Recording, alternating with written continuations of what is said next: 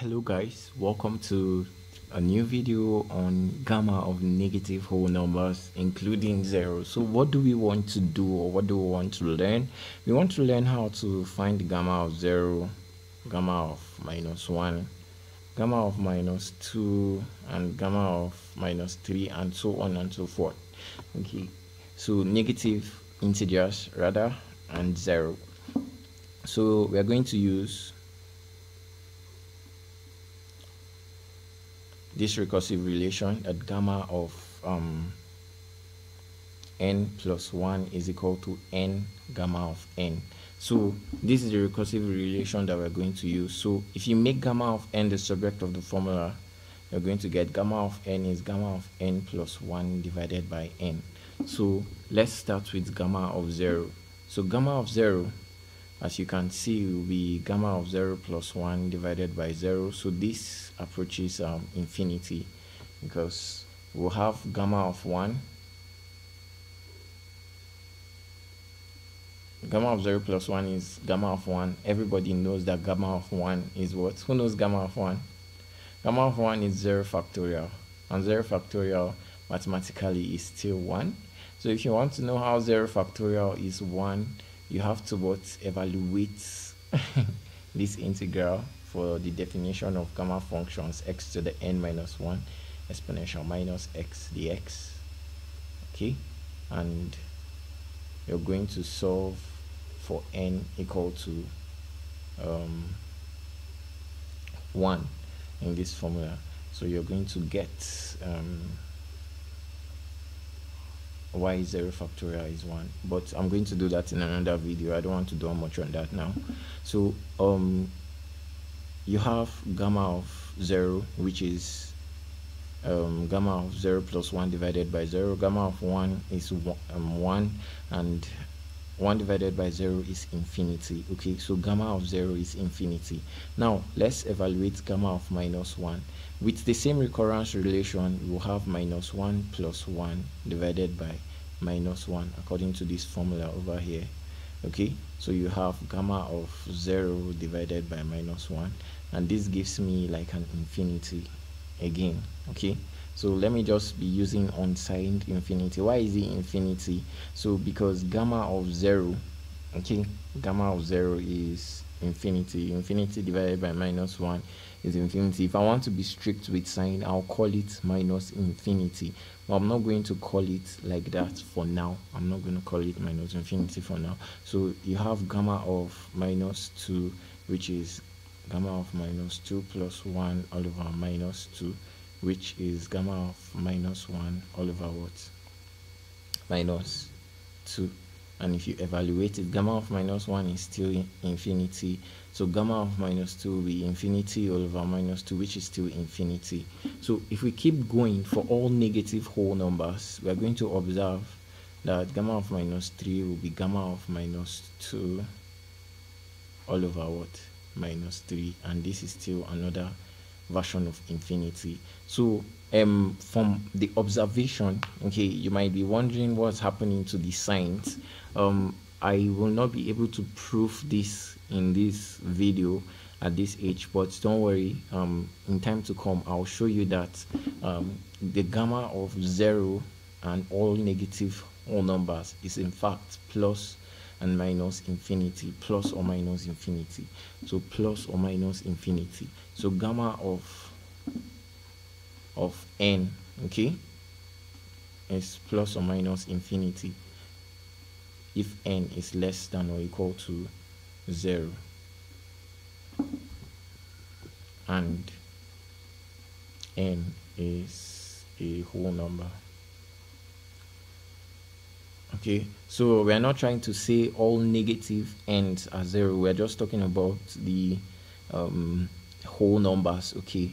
The whole numbers. And one way that you will appreciate um, this whole stuff is when you get to see the graph of the gamma function. So i have downloaded a picture of the graph of the gamma function and we want to see how and why this is how i just explained it okay? So um let me show you the picture of the gamma function. So this is the picture of the gamma function. So if you observe the gamma function very critically you can see i hope you can see my mouse the gamma of zero you understand? This curve that is coming from the right hand side it goes it's an it's an asymptote sorry about that okay it's an asymptote and it gets as far as going to infinity. Okay the curve will keep going and it will touch this line at infinity. Now you should also notice that there is another curve coming from this side and it's going downwards. So on zero zero we have like infinite jumps. Okay we have a jump and one of the boundaries is plus infinity another boundary is minus infinity. So the same thing happens in minus 1 so for minus 1 we have a curve going down to minus infinity and another one coming up towards plus infinity. So now you see um, um, um, um, um for negative 2 if you observe very carefully the same thing is happening. So you have plus or minus infinity and 3 you have minus or plus infinity. 4 you have plus or minus infinity. And it keeps repeating like that. It keeps repeating like that if you keep going down. And you can see that the curves on the negative side they are gradually you know reducing to zero. For all numbers between negative 4 and minus 5 the value of their gamma functions is getting like really really small and so on and so forth. So um this is the graph of the gamma functions. We have gamma of 1 gamma of 1 is 1 okay? 1 is 0 factorial and 0 factorial is 1 so gamma of 2 is also 1 factorial. And 1 factorial is 1 gamma of 3 is what? Who knows gamma of 3 very good. 2 factorial. 2 factorial is 2 as you can see it's here. So gamma of 4 is 3 factorial. 3 factorial is 6 as you can see it maps down to this place. So for gamma of values between 0 and 1 you can see that for values between 0 and something like 0 0.3 they have very very very large gamma values. Because gamma of 0 is infinity. It has a peak at infinity and minus infinity. So um, um, um, um, um it keeps decreasing between 0 and 1 the gamma function decreases from 0 to 1 then from 1 and 2 it almost remains constant. Then from 2 3 4 and 5 it starts increasing as you can see and keeps going like that. So this is the analysis of the graph of the gamma function.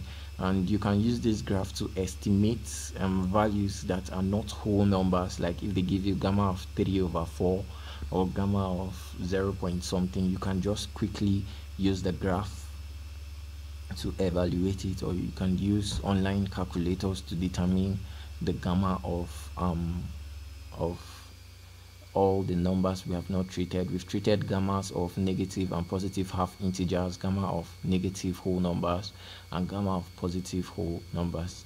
Okay so this brings us to the end of gamma function. The next time we are going to be dealing with gamma function we are going to be dealing with it in a real example okay like the question that we solved in the first class. So um, i hope you have learned how to um, solve um, at least or understand the theory that is driving gamma functions. So um, in the next class i'm going to give us an example or just a simple problem in gamma functions and we are going to see how to resolve it in the next class. So please like subscribe share hit the notification bell to stay updated. And um, i want you to um, know that you are doing very well. Learning engineering mathematics is actually tough and challenging at times but you just have to be persistent and um, you are going to excel so stay blessed till the next video where we'll see an example in gamma functions. All right bye